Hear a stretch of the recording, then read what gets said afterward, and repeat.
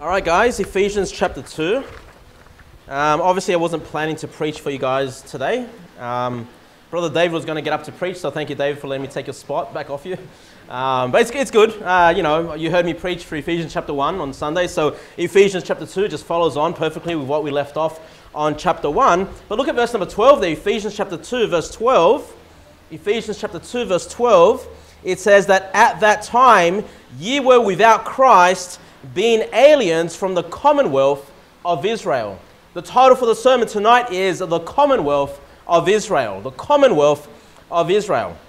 So, where I want you to, just as, as we start chapter 2, before we get into the chapter, I just want you to look at how verse number 1 in chapter 2 ends. Look, look, look at verse number 1 and look how it ends. Does it have a full stop in verse number 1? No, there's a semicolon, okay? Now, when the Bible has a semicolon, the sentence has not finished. The thought has not finished. Okay? So it continues to verse number two. Look at verse number two. If you look at the end of verse number two, is the sentence finished? Is there a, is there a full stop? No, there's a colon now. There's a colon. All right? So look at verse number three. Verse number three, look at the end of verse number three. Does the sentence finish? Yes, there's a full stop at the end of verse number three. Now, this is important. As, as you study your Bibles, as you read through the Bibles, I don't want you to become somebody that kind of reads half a sentence because it's in one verse and you run with it. Okay? Now, the entire sentence that begins chapter 2 is verse number 1, verse number 2, and verse number 3. This becomes important, okay? Because I've seen those that try to add a works gospel or a repent of sins gospel to the message of salvation, they love to take part of, or part of the sentence. They love to take a verse and they don't look at the entire sentence as to what's been spoken of. And uh, before we get into the chapter, please keep your finger there and go to Galatians chapter 5. Galatians chapter 5, verse 16. Galatians chapter 5, verse 16. And if you know me as a preacher, you'll know one of my favorite topics immediately, okay? And that is the difference between the old man and the new man. The difference between the flesh and the spirit the new creature, you know, or, or the carnal mind, the difference between the carnal mind and, and, and these things, walking in the spirit or walking after the flesh. These are two very different things, and yet it is such an important teaching in the Bible.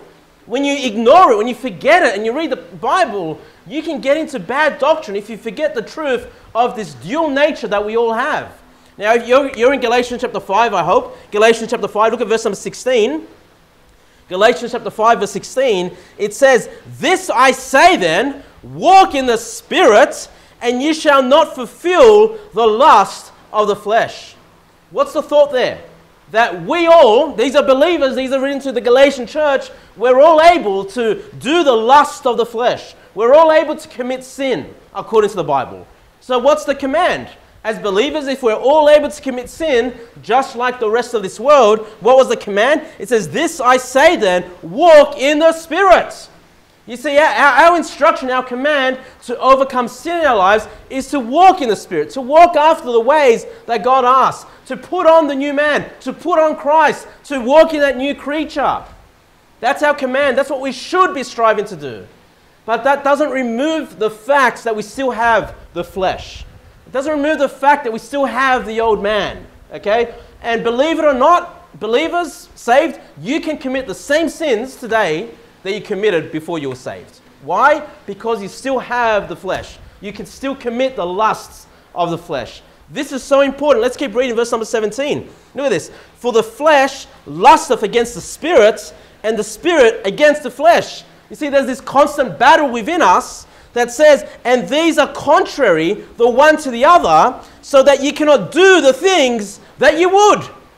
Brethren, you know, there are things we want to do. There are things we want to do to serve the Lord. Maybe it's going soul winning. Maybe it's just reading the Bible cover to cover. Maybe it's spending more time in prayer. There are things we desire to do in the new man, but the reason we don't do it, the reason we, we fail and we, we, we, we don't accomplish the task that we have, is because we see the battle of the flesh and the spirit.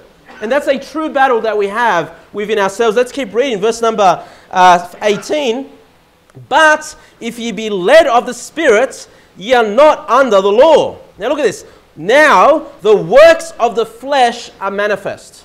So now we're going to look at some of the works of the flesh. The, the flesh is another way of saying the old man. Okay? It goes here, a manifest, manifest which are these? Adultery, fornication, uncleanness, lasciviousness, idolatry, witchcraft, hatred, variance, emulations, wrath, strife, seditions, heresies, envyings, murders, drunkenness, rebellions, and such like. Of the thing of that which I tell you before, as I have told you in time past, that they which do such things shall not inherit the kingdom of God. You say, oh man, I can't inherit the kingdom of God. I've done many of these things on this list. In fact, maybe I'm still struggling with some of these things on this list. Does that mean I'm not saved? No, what did we just read about? The flesh. These are the works of the flesh. And the Bible says that flesh and blood cannot inherit the kingdom of God. So it's true when it says there that they which do such things shall not inherit the kingdom of God. You see, none of you, nor, nor I, are going to enter the kingdom of God in this flesh. It's got a sin nature. This is why we have the promise of the resurrected body. Okay? Because this flesh is not going to do it, guys. Okay? But we have the Spirit. We have the power of God, which I covered on, on Sunday morning. We have been given that power so we can live after the Spirit. So we don't have to give in to the temptations and the lust of the flesh. But you see that, right? You see that in the Bible. We, we've got the lust of the flesh, we all have it, and we're commanded to walk in the Spirit. We're commanded to walk in the new man, right? Let's go back to Ephesians chapter 2 now. Ephesians chapter 2. I've taught on this in the past, but it's such an important concept because as you start reading chapter 2, if you you got to keep this in mind as you read it. Otherwise, I've seen people that I thought were brethren in a church that I highly respect take these verses and teach a works-based gospel. Okay, let's have a look at this. Uh, Ephesians chapter 2, verse 1. And you, these are to the believers, hath he quickened. Now, the word quickened means made alive. Okay, you were born again of the Spirit. You were made alive, who were dead in trespasses and sins. Okay? Let's think about that for a moment. Let's look at that statement. And you and, and you have he quickened who were dead in the past, were dead in trespasses and sins. So I've heard people come up with, with this, oh, see, the Bible says here that you were quickened, you were made alive. What saved you? And uh, you're saved now, but now because you're saved, you're dead in trespasses and sin. And that there is a truth in that. But then they'll say, see, if you're still committing trespasses, if you're still committing sins, this means that, well, you're not alive, you're not saved, you haven't been born again, they'll say. It sounds that way if you read a third of the sentence. All right? So look at verse number two. What does it say? Wherein time past ye walked according to the course of this world, according to the prince of the power of the air, the spirit that now worketh in the children of disobedience. Brethren, who is, uh, uh, according to here, who is the prince of the power of the air? Who do you think that's the title of? Satan, the devil, the devil, okay? And so they say, see, if you walk at the beginning of 2, if you walk like the world, if you commit sins just like the world, you're not saved. They'll say. Because it sounds like that, right? In time past, you walked like that. If that's the way you walked in the past, then I guess that means you're not walking that way today. If you're saved. Now it sounds like that. Again, right? Let's keep reading. Let's go to verse number three. Verse number three completes the sentence. Among whom also we all had our conversation or our behavior in times past in the lusts of our flesh, fulfilling the desires of the flesh and of the mind, and were by nature the children of wrath, even as others. What is this Bible speaking about here, then, guys? What are these sins, these trespasses and sins? you know, living after this world, you know, giving into the spirit here of the power, the prince of the power of the air, it's talking about the battle that we have in the flesh. You see, in time past, before you were saved, you had no power, you had no ability to overcome those lusts of the flesh. You could, like, people that try to live a good life, they're just trying to reform the outward flesh. They're trying to re- reform the, the, the, the old man, which yeah, they can, they can fix it up a little bit, but it'll never save them. And a lot of people are trusting reformation of the old man, reformation of the flesh, as their way to heaven. Okay? But God has given us the Spirit. God has given us the new man, has given us the new creature, so we can walk in accordance to that way. And when you do walk in accordance to the Spirit, when you put on the new man, when you put on Christ, guess what? You are going to overcome sin. You are going to be look at look at the times past when you were a sinner and you say, "Well, now I have victory over sin because I'm walking in the new man. Because I'm walking in the Spirit. I'm no longer giving in to the lust of the flesh." But here's the thing. You can still give in to the lust of the flesh when you stop walking in the Spirit. Okay? When you're tempted to sin and you sin, that's not the new man sinning. That's the flesh. That's the old man committing those sins. And so when we position what we're seeing here in verses 1, 2, or 3, it's not saying reform the old man to be saved, clean up your life, stop sinning, stop committing trespasses. No, no, no, no. You can't clean up the flesh. The command is, what we saw later on in Galatians, is walk in the spirits. And if you were here on Sunday, you know, we, we heard about how God has given us the power to live holy lives, to live blameless lives. And this is a continuation of that same thought. So don't let anybody turn around and try to trick you into saying, see, you know, you've got to stop committing sin, or see, you've got to be world, less worldly. I mean, I'll, I'll teach those things. Yeah, stop committing sins, guys. Yes, stop being worldly. But they'll take those things and say, well, you need to stop doing this in order to be saved. That is a false gospel. And if, if you just keep reading, you'll see how false that is. Okay, let's keep going. And, and uh, actually, before we keep going, uh, the, the, great things about these first three chapter, uh, verses in, in, in Ephesians chapter 2 is it identifies the three enemies, the three enemies that we have as believers. The, the, the warfare, the, the constant fighting that we're having. What were they again? It was the prince of the power of this air. So it was, it was, the devil. It also said, wherein in time past he walked according to the course of this world. Our other enemy is the world, you know, the world system. And then in verse number three, it spoke about the lust of our flesh, right? And our flesh, our flesh is our other enemy. Guys, as believers, you've got three enemies. There are three battles to be fighting every day of your life. That's the battle against Satan, the battle against this world, and what this world finds acceptable versus the Bible, and the battle within yourself that you have the old man, the new man, the flesh versus the spirits. Okay? You remember that. I think, I think the hardest battle for me, anyway, is to battle the flesh because it's right there. I wake up every morning and it's right there. Okay? Like, I, it's not like I wake up and I'm facing persecution from the world right? It's not like I wake up and the devil's, you know, uh, trying to, to, to, to destroy me or something. No, when I wake up, guess what's there? The old man. The old man. And so that, that's the very personal battle that we keep having. But let's keep going. Verse number four. But God, who is rich in mercy, for his great love wherewith he loved us, look at this, even when we were dead in sins, have quickened us together with Christ. Remember that word quicken means made alive? And then it says, By grace are you saved. Amen. It's God's grace, unmerited favor. You know, grace is free and is by grace that we are saved. But what I want you to notice there, it says in verse number five, even when we were dead in sins, have quickened us together, made us alive. How did we get saved? How did God give us this new life? When we were still dead in sins. Okay, do you see that? While you're dead in sins, God makes you alive by grace. Okay? This is so important because this is a perfect verse to use against those that say you have to turn from your sins to be saved. Okay? No, no, no. We've got to be dead in sins, right, to be saved. If you're trying to stop sinning to be saved, well, you're not counting on the grace of God anymore. Okay? The Bible says here that God saw us dead in sins sinners, breaking his laws, and even in that state, we'll look later on, if you believe on Christ, he'll quicken you. He'll make you alive. And that is the one requirement that's necessary. And one of the verses a lot of us use when we go door to door soul winning is Romans chapter 5, verse 8. But God commendeth his love toward us, in that while we were yet sinners, Christ died for us. What a powerful verse because when you think about it, it's not like God looks down on human beings and say, well, they're trying hard, they're trying their best, and I'll send Jesus to save them. No, he says, look, while they're sinners, while they're sinners, he had enough love for us to send Jesus Christ to die for us. And so, no, we don't have to turn from our sins to be saved. You can just be in a state of dead to sin and be saved uh, by grace. Look at verse number six.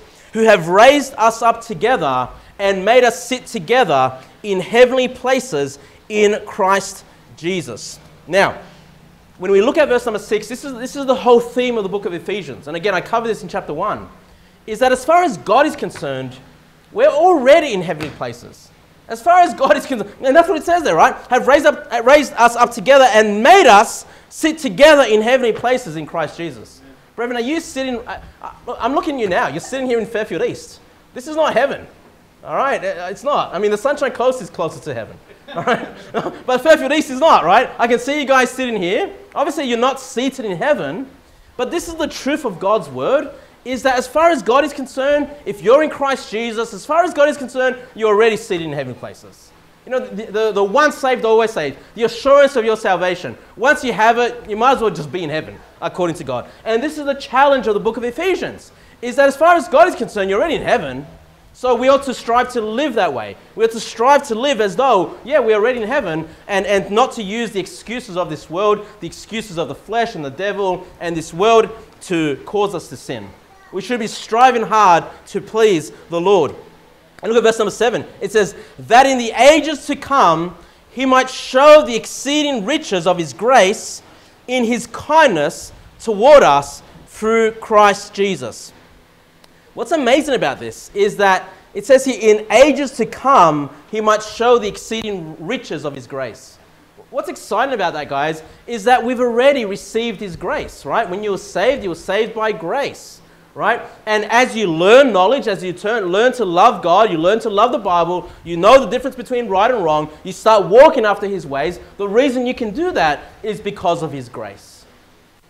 You know, and then one thing we don't tend to think about is when we get to heaven, like, it's hard for us to wrap our heads around this, but it says there, in ages to come, He's going to continue giving us the riches of His grace. You know, going to heaven is going to be exciting. It's going to be new all the time.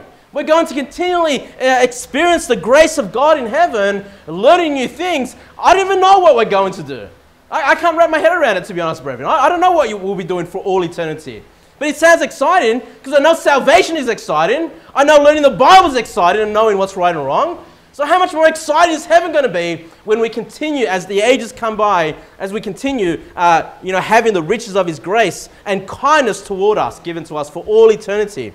You know, 1 John chapter 3 verse 2 says, Beloved, now are we the sons of God, and it doth not yet appear what we shall be, but we know that when he shall appear, we shall be like him, for we shall see him as he is. I don't understand that, brethren. You know, that's what it's saying there, right? It's saying there that it doth not yet appear what we shall be. We don't fully understand the, the great promises, you know, the greatness of heaven, how much joy we're going to have, how much, you know, the great experiences we're going to have. All we know, we're going to be more like Jesus Christ. We're going to be like Jesus Christ. But what does that mean, brethren? I, I can't wrap my head around that fully. You know, the eternal God, we're going to be more like the eternal God. Well, praise God, you know. We'll continue learning and growing and experiencing His riches. Verse number eight. And verse number 8, 9, and you know, are the verses we love to, to quote, of course, which says, For by grace are ye saved. This was again confirmed from us before in verse number 5. For by grace are ye saved through faith, and that not of yourselves, it is the gift of God, not of works, lest any man should boast. Brethren, how are we saved? By grace. God's grace. That's how we're saved. Not by your grace, not by your works, not by your church, okay? Not by you cleaning up, a, you know, living a clean life. We're saved by grace. But how do we have access to that grace? What did it say? Through faith. Okay? God's grace is available to all of man. Okay? All of man. But how do all men access that? Through faith. Okay? By believing on Jesus Christ. And that not of yourselves, it is the gift of God. Now, it's so important that we understand this is that God's grace actually just means freeness already. And so when it says here that it is the gift of God, what is the gift of God? What is the gift of God according to this? Well, I'll tell you straight away it's salvation, it's God's grace. That's the gift, I'll tell you that. But as we spoke about on Sunday, the Calvinists will say, because they don't like the idea, they don't, they don't like the idea of us making a conscious decision to put our faith on Jesus. They don't like that. Because remember, they believe that God has chosen some to be damned to hell and some to be saved regardless of what they regardless of anything. Okay? It's just God's choice before, before the creation of the world. And so, what they believe is that, well, if God already has chosen you to be saved, He will give you, according to Calvinists, He will give you the gift of faith, they'll say. All right? So, inst- instead of reading the gift as salvation, they'll read the gift of God as the faith. God has given them the, the gift of faith to believe on Him. All right? Now, that's such a. I don't, look, first of all, as you just read this naturally, I don't think you can cl- conclude that whatsoever. Okay? But let's just show, I'll show you how we can prove that the gift of God is salvation or His grace. Okay? Please go to John, keep your finger there, and go to John chapter 4. John chapter 4, please. John chapter 4. Because all we have to do is a Bible study. All we have to do is look up the words or the phrase, the gift of God. Now, there are many things that are the gift of God in the Bible. There are many things. But when it comes to salvation, it's always consistent as to what that gift is. John chapter 4, please. We're turning to the story of when Jesus met the, um, uh, the Samaritan woman at the well. Remember that story? We're not going to go into the whole story, but as, as Jesus and the Samaritan woman are talking, he says this in verse number 10, John chapter 4, verse 10. Jesus answered and said unto her, If thou knewest the gift of God, and who it is that saith to thee, Give me to drink, thou wouldst have asked of him, what? Ask what? The gift, and he would have given thee living water. So Jesus says, if you knew the gift, you would ask for it, and you'd be given living water. So, what is the gift according to verse number 10 so far? The living water, right? If you ask for the, for the living water, you'll get the gift. Let's drop down to verse number 14. Look at this. Verse number 14.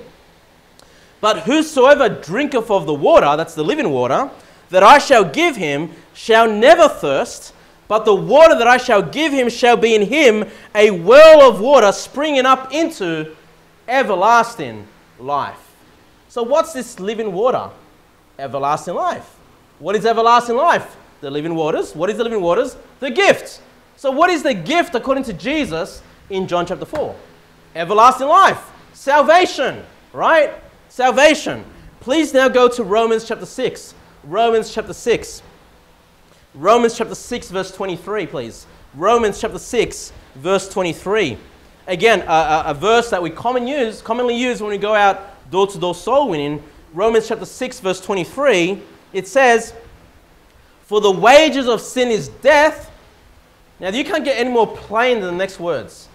But the gift of God is eternal life through Jesus Christ our Lord. Eternal life, the other one was everlasting life, right? The same thing. It's the salvation, everlasting life, eternal life. And so when you go back and you read Ephesians chapter 2 and someone's trying to tell you the gift is faith, no, it's not. All you need to do is look at the other two passages that deals with the gift of God in context of salvation, and it's always eternal life. Okay? That is the gift of God. All right? We receive it through faith by us consciously, decidedly making a decision to put our faith and trust on Jesus Christ. And just like a gift, guys, you can receive it or you can reject it. We go out, we knock those doors, we offer people the free gifts. It's up to them if they want to receive it or receive it or reject it. It's up to them. And listen, brethren, if they want to reject it, let them reject it. Move on. You move on, okay? You've made the offer of the free gift, you offer the living waters, they don't want it, you move on, okay? And you go find the person that wants to receive the free gift. Let's go back to Ephesians chapter 2, verse 10. Ephesians chapter 2, verse 10. Well, actually, before we read verse 10, let's read verse 9 again. Salvation is very clear, not of works. I feel like saying that again. Not of works. Okay? Now, brethren, I don't know what I don't know what's going on. I will have people say to me, Salvation's, yeah, it's by grace through faith, and not of works. But then they'll turn around and say, But if you don't have the works, you're actually not saved. Can you make sense of that, brethren? Does that make sense to you? Salvation is by grace through faith. Okay, this box is grace through faith. That's how you get saved. This water here, not of works. Not of this water. Okay? Not of works. That's not salvation. This is salvation right here. But then they'll say, but if you don't have this, you're not saved. Well, not of works. Don't you understand? Salvation is not of works. Put that over there. Salvation is free, the grace of God by faith. That's how you receive it. Okay? I, oh, but if you don't have the work, yeah, good. If you don't have the works, you're still saved because it's not of works. How? I mean, look, I'm, any kindergarten child would understand this. Any five-year-old would understand this, right? You get to churches and the pastors play these word games with you. You don't even know what to believe anymore. Is it by works or not of works anymore? Explain it to me. Man, you know, and, and you, you, know, this church, I know you know the truth, and you're being like, uh, we know this already. Yeah, but I just have to keep saying it because one day you might not be in this church, or your children might grow up and be somewhere else in life. And we don't want our kids to get mixed up on this. Okay? I, I, can't trust anyone anymore that says, well, salvation is just by grace through faith and not of works. I have to dig in, right? I have to really, well, can, what if I'm not doing the works? Am I saved? That's what you've got to ask people, right? Because otherwise, they just play games with you and you don't know where people stand. And you know what? There's a lot of pastors that know where they stand, but they don't want to tell you because their church is made up of two groups of people people that are saved and people that are unsaved. And the people that are saved, they know it's by grace through faith and not of works. The people that are unsaved still think, well, I've got to put my effort in, I've got to put my works in. And so they don't want to cause a church split, they don't want to cause any problems, so they just kind of give both versions somehow. You know, they, they say both the same thing. They, they, stay, they say the complete opposite just to keep the churches in line, to keep everybody happy. But that's horrible because half your church could be unsaved, going to hell, believing a false gospel. Anyway, brethren, let's keep moving on. So it's definitely not of works, right? And then it says here, verse number 10 For we are his workmanship. this is important. Created in Christ Jesus. So are we saved at this point? If we're in Christ Jesus, yes, we're now saved, right? Unto good works, which God hath before ordained that we should walk in them. Am I saying we shouldn't do any works? Of course not. You know, you guys are out there every week knocking doors. Guess what? That's works. Guess what? We did some baptism on Sunday on Tuesday. Guess what? That's works. But is anyone trusting the baptism? Is anyone trusting the doors of soul winning to go to heaven? No. Okay? No, I tell you why. Because every other false religion gets baptized. Every, you know, the JWs and the Mormons go and knock doors and preach the gospel. None of that's going to get you saved. Well, they're, they're false gospel, I should say. Right? None of that's going to get you saved. Salvation is not of works, but when you're in Christ Jesus and you are saved, He's given us the new man, He's given us the Holy Spirit, that we should be able to then walk in those good works that God has asked us to do. But here's the thing whether you do it or not does not mean you're not saved or if you're saved. Okay? It's just that that's what God has pre ordained, what it says there, right? Ordained that we should walk in them. You know, if I say to you, brother, brethren, if I say here, brethren, you should preach the gospel. Okay? And should you? Absolutely, you should preach the gospel. But what if you never preach the gospel once in your life? Are you still saved? Absolutely, you're still saved. But you didn't do what you should do. Okay? And there are sins we're all battling with. We all have weaknesses. We all have sins in our lives. Hey, brethren, you should overcome those sins. You should, you know, you should repent of those sins, brethren. But whether you repent of that sin or not, does that change your salvation? No, you're already saved because salvation is not of works. But you know what? You should do many things. This Bible's a big book, you know. It's not all about salvation. There's a lot of commands of God that we should live by. We should do all of this stuff pretty much, except for the things that have changed in the new covenant. Okay? We should do all of those things. But does that mean if you don't do them, you're not saved? No, of course, okay? You're saved because of God's grace and you receive His grace through faith, all right? I don't want anyone to ever say, or Pastor Kevin says you shouldn't do the works. You should do the works. But don't trust the works for your salvation, is what I'm saying. Okay? You do the commandments of God because it's not going to save your soul, but it's going to save your flesh many times, right? Instead of destroying yourself early in life, instead of bringing the consequences of sin upon your life, you should strive to do what God has asked us to do. And God has given us that ability. He's ordained us as we've been saved in Christ to walk in the commandments that God has given us. The Bible, once again, in Galatians 5.16, you don't need to turn there. This I say then, walk in the Spirit, and you shall not fulfill the lusts of the flesh. That's how you do the good works for God Christ. You don't do the good works in this flesh, you do it in the Spirit. And when you're walking in the new man, when you're walking in the Spirit, the flesh is subject unto that new man. Okay, and you'll be able to control yourself against the sins that we all commit.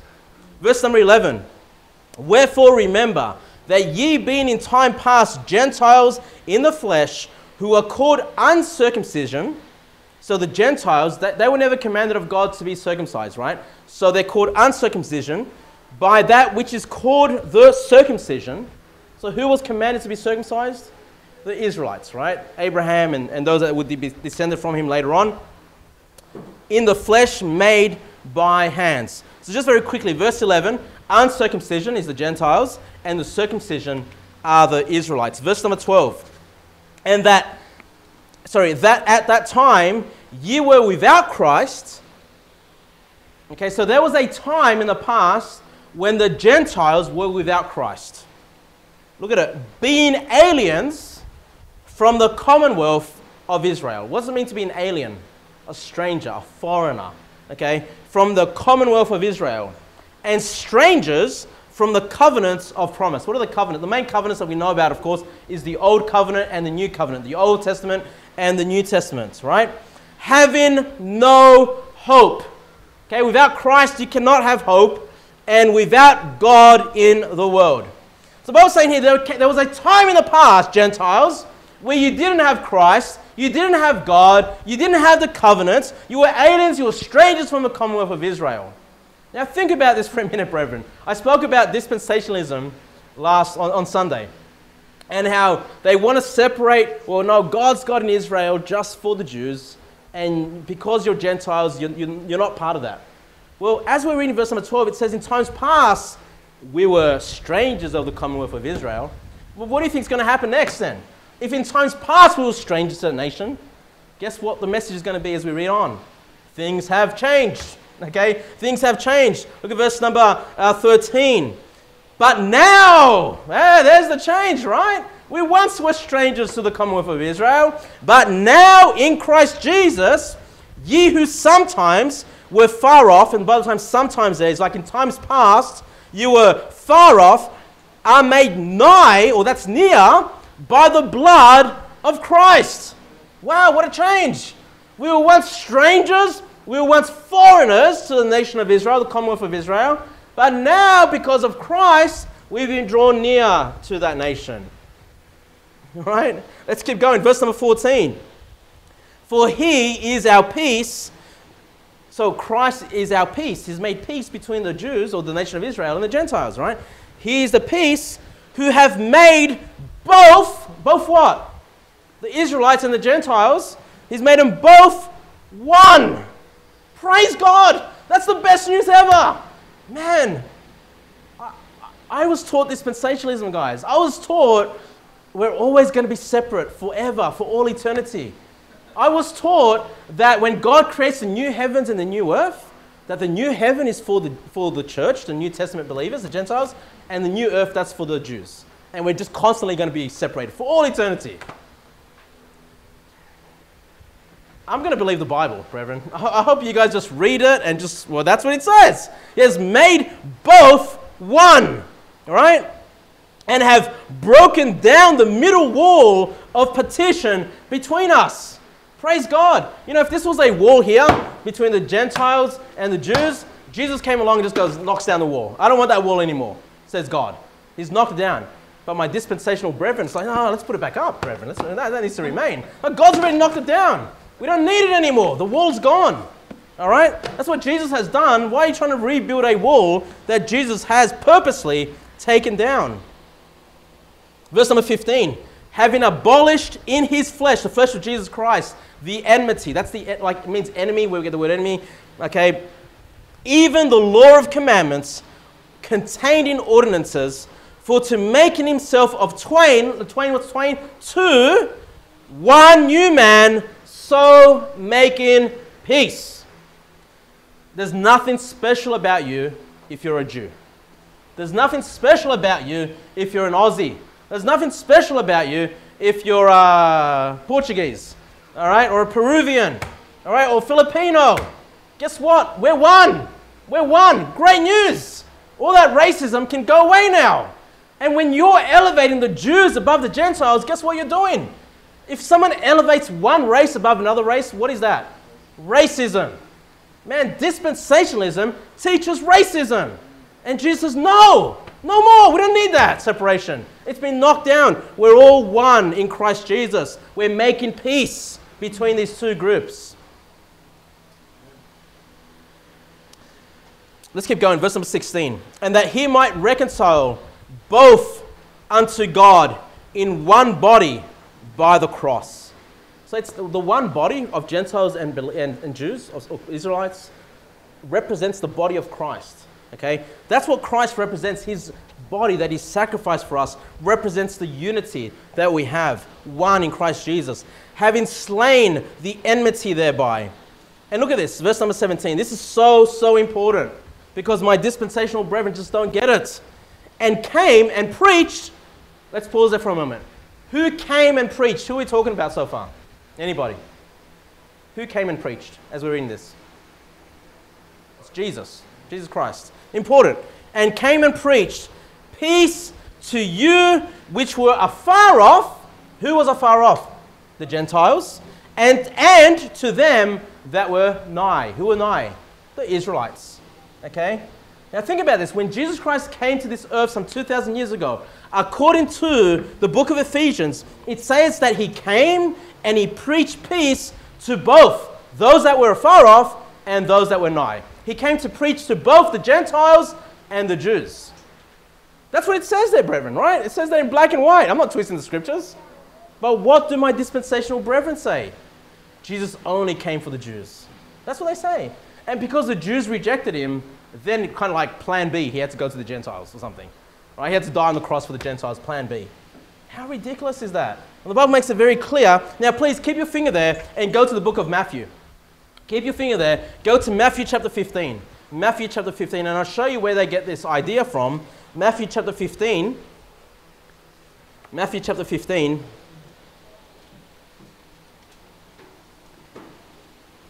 Look at verse number 24. Matthew 15, verse 24. And he answered and said, So these are the words of Jesus I am not sent but unto the lost sheep of the house of Israel. Whoa, there it is, right? Jesus was only sent to the house of Israel. See? That's where they get the teaching from. So he didn't come for the Gentiles, he just came for the lost house of Israel. So which one's right? Well, the Bible never contradicts, it's always right. Okay? Ephesians told us he didn't just come for the Jews to, to, to, to come and to preach them, he came to the Gentiles also. Okay? Now we need to backtrack. Look at verse, go to verse number 21. Let's get the whole context of this story. Matthew chapter 15, verse 21. And I know we've already gone through the book of Matthew, so you guys are already familiar with this. But it says in verse 21 Then Jesus went thence. Where did, where did Jesus go? Here it says, and departed into the coast of Tyre and Sidon.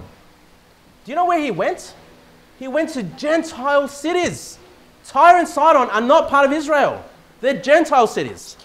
Hey, this sounds like Ephesians that he went and preached to those that were far off as well.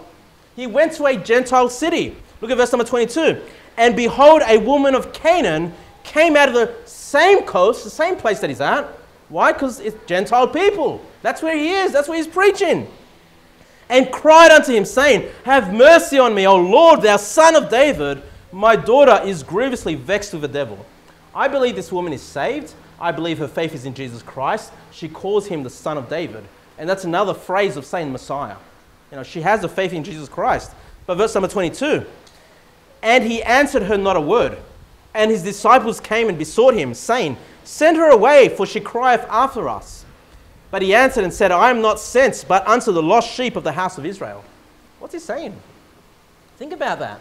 What we're reading about as we go through the book of Ephesians. He's there in the Gentile cities. Why would he be there if he wasn't meant to be there? He's there for a reason. i tell you why. This woman's saved. Her faith is in Christ. All right? She is part of the house of Israel. Jesus Christ came to abolish the difference Okay? He's brought those that are far off, the, this woman here, And those that are nigh, he brings them together in one body. This is what Christ is doing when he's on the earth. She's part of the house of Israel. She's part of the commonwealth of Israel. Yes, there was a time when she wasn't part of it, but now because of Christ, she is. And as we keep going, we'll understand. It says number verse number 25, and she came and worshipped him. She's definitely saved. She's worshiping the creator of all things, saying, Lord, help me. And he answered and said, It is not meet to take the children's bread and to cast it to dogs. And she said, Truth, Lord, yet the dogs eat of the crumbs which fall under their master's table. And look at verse, 20, verse 28, the, the, the clincher. Then Jesus answered and said unto her, O woman, great is thy faith. Be it unto thee as thou wilt. And her daughter was made whole from that very hour. What was Christ doing then? He was testing her faith. He was showing those that are around that even this Gentile woman has faith in Jesus Christ. He's showing, hey, look, uh, uh, you know, he, he's, he's putting on like this show that he's kind of rejecting her request, but she keeps coming. She has this great faith that Christ will do, you know, heal her daughter. And Christ says, look, look how great your faith is. Be, on behalf, like in front of everybody else that's in the city there, in front of everybody else that he's teaching, he's pointing at this Gentile woman and saying, look at her faith. Look how great that faith is. Jesus Christ came, and if you were here with me in the book of Matthew, we constantly saw him going, yes, to the Jewish cities, yes, but also to the Gentile cities. You know, many, many times. We looked at the woman at the well, the Samaritan woman. Hey, she's a Gentile woman, okay? I mean, Jesus Christ came, and, and it's, it's amazing that people take this verse there in verse number 24 and say, see, he didn't come for the, for the non Israelites. He's in a city of non Israelites. He's full of people around him that are non, that are non-Jewish. Okay, so it's, it's, it's, uh, it's amazing how they take a verse and they forget the context of which they're taking it in. Okay, let's go back to Ephesians chapter 2, verse 18. Ephesians chapter 2, verse 18. So I hope if you've had that false idea that Christ only came for the Jews, I hope you can just get rid of that idea because it's a falsehood. Okay, verse number 18. For through him, through Jesus, we both, who's the both? The Jews and the Gentiles, have access by one Spirit unto the Father. Okay, both Jews and Gentiles. Now I'm going to read a portion of the Bible. You don't need to turn there. John chapter 10, verse 15. Jesus says this As the Father knoweth me, even so know I the Father, and lay down my life for the sheep. Now pay attention to the next words that Jesus Christ says, verse 16. And other sheep have, uh, I have, which are not of this fold. Them also I must bring, and they shall hear my voice, and there shall be one fold and one shepherd. How many people of God are there, guys? How many folds of, of Jesus Christ are there? Jesus says one fold. He has sheep that are not of this fold. That fold that he's talking about was the Israelites. He says, Look, I've got other sheep. I've got other people that believe on me. I've got others that are going to get saved. Hey, I'm going to bring them all, and we're all going to be of one fold, and there's going to be one shepherd the Lord Jesus Christ. So, as we read there, verse number 18, we can understand that. For through him we both have access by one Spirit unto the Father. Verse number 19. Now, therefore, now, brethren, I, I doubt you've heard this preached in your previous churches because this is the best news out there. And they're so afraid to say they're part of Israel. Okay, verse number 19. Now, therefore, Ye are no more strangers and foreigners. Praise God. But fellow citizens with the saints and of the household of God. What are we fellow citizens of? Fellow citizens with the saints. What, we, what were we afar off from before? The commonwealth of Israel. Okay, we're no longer strangers of that commonwealth of Israel. We're now fellow citizens with the Old Testament believers, right? The best thing we're the household of God, all of us. I'm not boasting myself over Jewish believers or vice versa or anything like that. Okay? It says here, verse number 20, and are built upon the foundation of the apostles and prophets, Jesus Christ Himself being the chief cornerstone. You know, if we want this church to be the house of God, and it is the house of God, we want God to build this church you know, have strong foundations in this church, we need to look at verse number 20. We need to build our church on the following. It says, upon the foundation of the apostles and prophets, prophets there being the Old Testament prophets, with Jesus Christ himself being the chief cornerstone. Say, where do I get the teachings of the prophets and the apostles? Again, right here, guys, in this book. You know, this book is the Word of God. Jesus Christ has the title of the Word of God. You know, the more you want to know Jesus, the more you need to know His Word.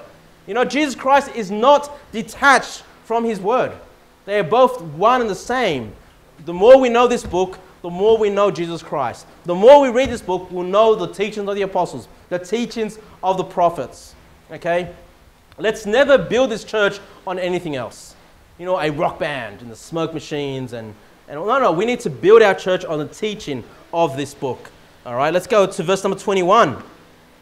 In whom all the building fitly framed together groweth unto an holy temple in the Lord, in whom ye also are builded together for an habitation of God through the Spirit. So we end the chapter here. Now, before we move away, though, I want you to please turn to the book of Revelation, Revelation chapter 21. So we ended this chapter with God saying, Look, He wants to continue building us. He wants you to be built upon strong foundations. Okay? Now, I know the reality of the Christian life. There are going to be times when you are, in a backslidden state. I've been in backslidden states many, many times in my life. Okay? Where you sort of uh, stop attending church or you stop reading the Bible, you stop praying, you get into a bad place, you just you don't sort of feel the power of God in your life anymore. Maybe you're going through troubles and difficulties and you sort of blame God for those. These things are perfectly natural, okay? Because we have the flesh, so we can fall, okay? But don't forget, God has given us the new man. God has given us the Spirit and His power so we can soldier on, so He can continue building us in the faith, okay?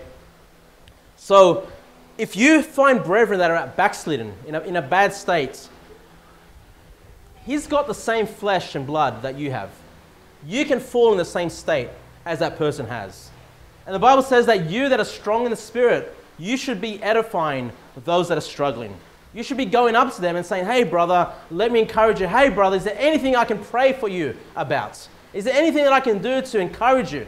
Hey, brother, I haven't seen you soul winning for a while. Can I take you out soul winning next week? Hey, brother, I've not seen you in church for a while. I'm going to give you a call and find out how you're doing. You know, we should be seeking for those that are spiritual to lift up the brethren that are struggling. But all too often in many churches, when we see brethren that are struggling in sin, we just kick them while they're down, right? We kick them while they're down. Ah, look at so and so. You know, he said he'll serve God for his whole life, and look at him there, you know, back in his old ways, back in his old sins. Hey, that's the worst behavior we could possibly have. You have that, that you're giving into the flesh. You're giving into the lust of your own flesh, and you're committing sins. You know, when you should be spiritual, you should be lifting up your fellow brethren. But what I wanted to show you in, in the book of Revelation, we're almost done now. Revelation chapter 21, verse 1, is remember how we started, how, you know, we're not in heaven, but as far as God is concerned, we're in heaven already? Well, when it comes to building us up, we're built by what? Christ. We're also built up by the, the teachings of the prophets and the apostles. And when you understand that, you'll understand that the prophets basically represent the Old Testament saints under the Old Covenant, okay? And the apostles, hey, these are the guys that started the New Testament churches, right? Christ taught them, Christ was resurrected, and they, they went out and started the churches. Many of them were pastors as well of, churches. And so when we look at the teachings of the apostles, we're talking about the teachings of the New Testament. Okay? And what I love about the new heavens and the new earth is that, you know, Christ speaks about this in a spiritual sense today, but then there's a physical representation of this unity, of one body. Look at Revelation chapter 21, verse 1. It says here, And I saw a new heaven and a new earth. For the first heaven and the first earth were passed away and there was no more sea. And I, John, saw the holy city, New Jerusalem, coming down from God out of heaven, prepared as a bride adorned for her husband. So we have this new heaven coming down from heaven. Look at verse number 20, uh, 12. Drop down to verse number 12. It describes this new city that's coming down, Jerusalem. It says here, and had a wall great and high, and had 12 gates and at the gates 12 angels, and names written thereon, which are the names of the 12 tribes of the children of Israel. That's pretty cool.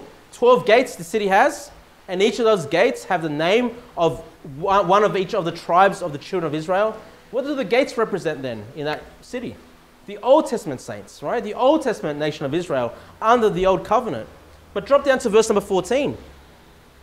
And the wall of the city had 12 foundations, and in them the names of the 12 apostles of the Lamb. That's interesting. This new city has 12 foundations, and each one of those foundations are named after the 12 apostles of Jesus Christ. What does that represent? The new covenant. All right? And so what we have is this physical city coming down from heaven by its gates representing the old covenant, the Old Testament saints, and by the foundations representing the new covenant, the New Testament saints. And guess what? It's one city. okay? It's not two cities, it's one city, all making up that one place. And that's our eternal promise. I don't know, that city is going to be wonderful, it's going to be fabulous. All right? I, I, don't, I don't know. I don't, I, like I said, eternity blows my mind. I can't fully grasp it. Okay? And so God has this reality of eternity to come where we're one in Christ Jesus, we're one in this new city to come. And all He wants us to do, brethren, today is to live out that truth as it were right now. As if you were in that city today. As if you were with the Old Testament saints and the New Testament saints, all gathered in one body. That's how we should be striving to live our lives today. As if, as if it were that we're in heavenly places. As if it were we had our new resurrected bodies. That's how we should be striving to live for the Lord, doing the works that He's called us to do.